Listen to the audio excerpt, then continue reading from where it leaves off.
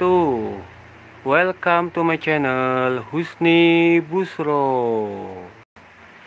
Pada kesempatan kali ini saya membuat video live tentang tutorial cara menghubungkan semua merek HP ke TV Oke ini pertama saya live jadi mohon maaf apabila masih banyak kesalahan Karena ini juga masih pemula. Oke yang akan saya hubungkan HP-nya ke TV ada HP merek Asus dan HP merek Samsung. HP merek ada Realme dan juga merek Oppo. Ini ya merek Oppo. Oh ya ada satu lagi. Ini dia merek Vivo.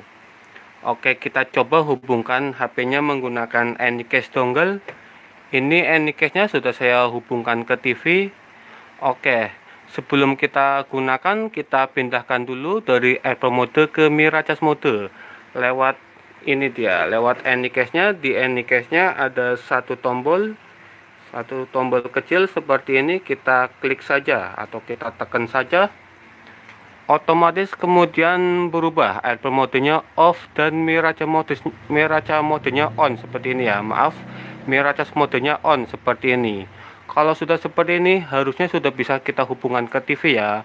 Oke kita live jadi ini tanpa editan lagi atau kalau bisa ya bisa kalau enggak ya bisa kalau enggak ya enggak. Kalau enggak bisa aku usahain biar bisa ya. Oke yang pertama kita coba di HP Samsung dulu ya. Ini HP Samsungku. Kalau di HP Samsung cara menghubungannya sangat mudah tanpa menggunakan aplikasi lagi Oh ya, tinggal kita geser saja ke bawah seperti ini. Digeser ke bawah. Terus kita pilih saja yang ini Smart V ya, ini kita terangin atau kita jelasin ini Smart V, kita klik saja Smart V. Anycase-nya terbaca, oke, kita klik saja seperti ini. Kita mulai sekarang sedang menyambungkan di HP Samsungnya. Dan di TV-nya pun ada tulisan connection seperti ini berarti sedang menyambungkan. Tinggal kita tunggu saja. Seperti ini cara menyambungkannya. Kita coba tes atau kita cek. Oke dan HP Samsungnya pun berhasil tersambung ke TV ya. Seperti ini. Oh HP-nya lowbat. Oke kita coba ini. Kita nonton YouTube di HP Samsung ini kita coba buka YouTube. Seperti ini.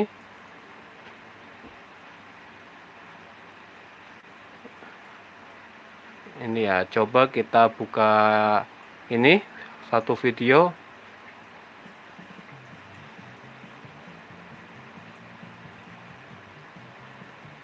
Dan kita perbesar saja layarnya. Seperti ini tampilan HP Samsung ya HP Samsung bisa tersambung ke TV ini HP Samsung A20s seperti ini HP Samsung tersambung ke TV Oke. Sekarang HP Samsung coba kita keluarin saja. Kita geser ke bawah saja. Mengeluarkannya cukup mudah cuma kita klik lagi. Anycase yang smart nya kita matikan saja Oke tinggal kembali. Nanti di layar TV pun ketampilan anycase nya seperti ini. Kemudian saya coba di HP Asus. Apakah juga bisa? Di HP Asus juga tanpa menggunakan aplikasi lagi ya. Jadi cukup kita masuk ke pengaturan HP Asusnya. Oke kita coba masuk ke pengaturan HP Asusnya. Atau setelan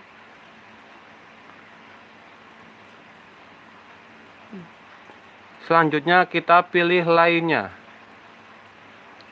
Kita pilih ini ya Plato. Kita pilih pilih Plato. Anycase nya terbaca kita lihat. Anycase nya oke. Okay. kalau sudah terbaca kita klik saja anycase nya kita tes kita coba di HP Asus. Sedang menyambungkan atau mengoneksinya di layar TV connection Oke, di HP Asus pun berhasil ya seperti ini.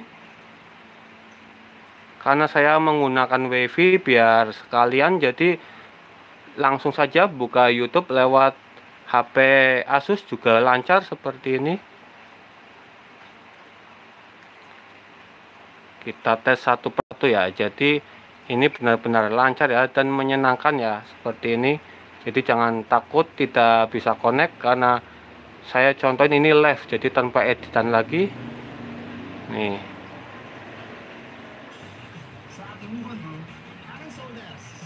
Seperti ini.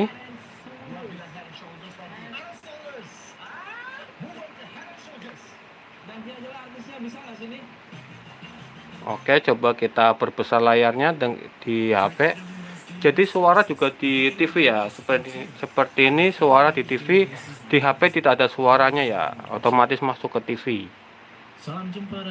Oke kita perbesar lagi seperti ini. Ya lancar. Oke kita kembali lagi.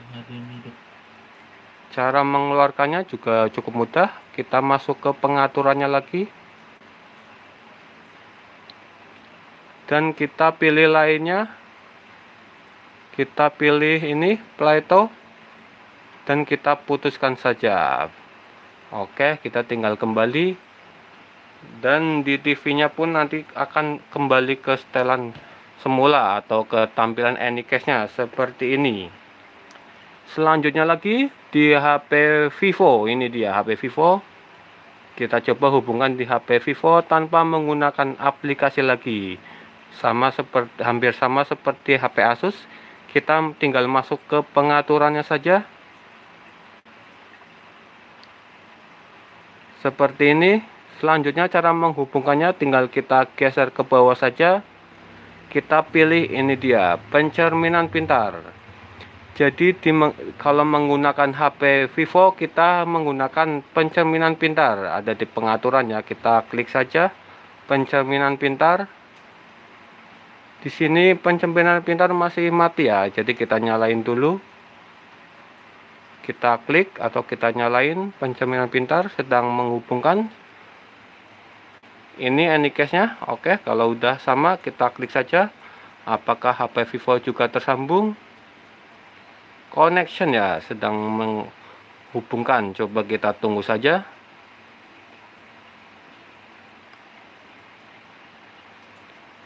tinggal kita tunggu. Dan HP Vivo nya pun tersambung ke TV ya. Jadi hampir semua HP tersambung ke TV ya. Seperti ini semakin HP nya bagus wow lebih mantap lagi. Pasti lebih lancar juga ya. Oke kita coba buka YouTube ku saja. Biar aman. Biar nggak ke copyright atau klaim hak cipta. Oke kita perbesar seperti ini layarnya perbesar juga besar seperti ini ya? Oke. Hmm. oke. Kita kembali. Untuk mengeluarkannya lagi cukup kita masuk ke pengaturannya pengaturan HP Vivo nya selanjutnya kita pilih saja ke pencerminan pintar. Oke kita pilih lagi pencerminan pintar dan yang mat, nyala kita matikan saja. Jadi pencerminan kita pencerminan kita matikan saja. Ini layarnya seperti ini. Kita tinggal kembali. Nanti kembali seperti semula. Oke ketampilan anycast nya lagi. Selanjutnya HP apa yang belum kita hubungkan? Oke coba kita HP Realme ya. Oke. Jadi ini sangat lancar ya. Kalau yang tidak lancar biasanya bisa jadi anycast nya juga. Jadi pasti lancar sangat menyenangkan ya oke. Cara menghubungkan HP Realme juga tanpa menggunakan aplikasi lagi kita geser ke bawah. Selanjutnya kita geser lagi ke samping. Oh maaf.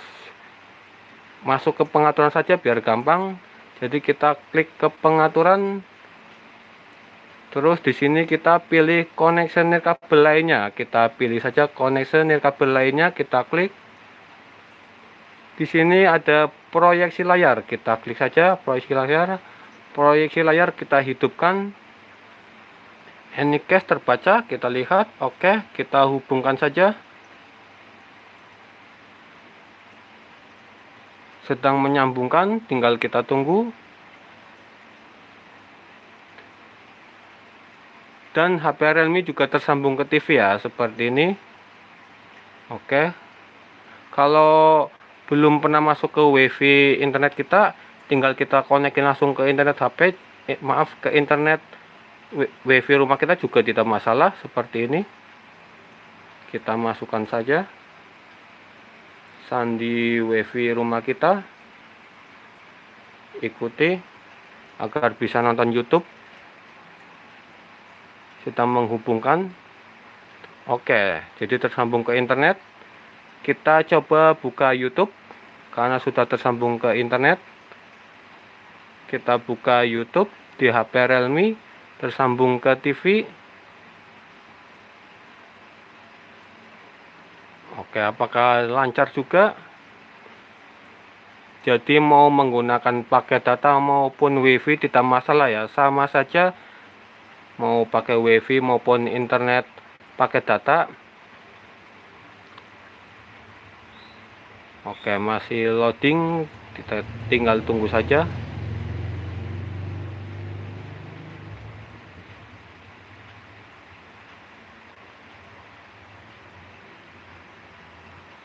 coba lihat. Oke kita coba nyalain YouTube-nya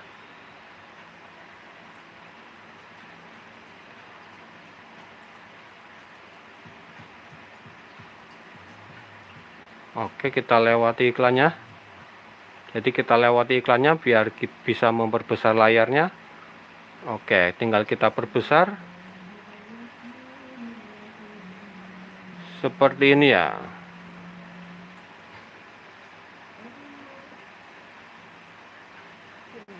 Seperti ini. Maaf ini agak ngadat-ngadat di HP Realme nih oke. Seperti ini ya HP Realme.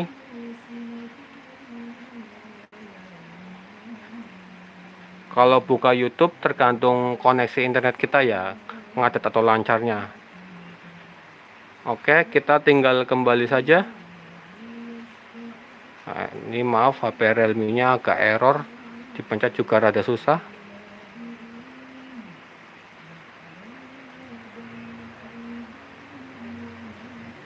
oke. Sekarang cara mengeluarkannya juga tinggal kita masuk ke pengaturan lagi.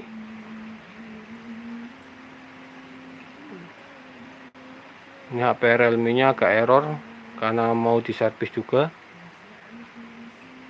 Udah ke kepenuhan. Kita pilih connection kabel lainnya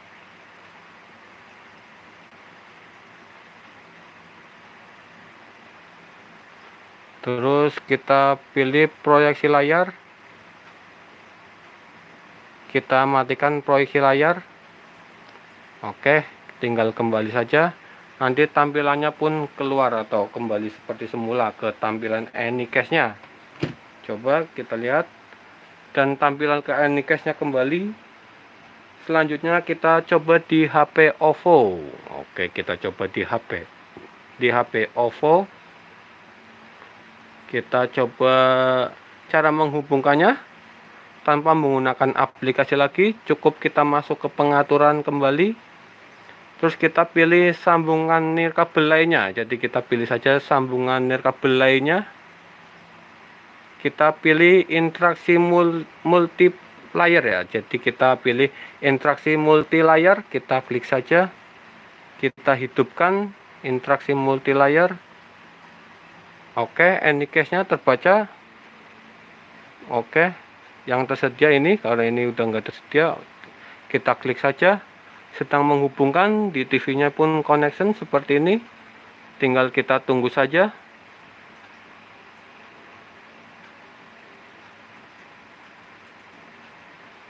Dan HP Oppo juga tersambung ke TV ya seperti ini. Oke sekarang coba kita buka YouTube apakah lancar di HP Oppo atau HP yang terakhir kita coba buka YouTube. Biar aman aku buka YouTube YouTubeku saja ya biar aman. Oke di tutorial cara menghubung HP Infinix ya. Oke kita perbesar oke kita perbesar layar. warahmatullahi wabarakatuh bertemu lagi dengan channel saya Husni Busro.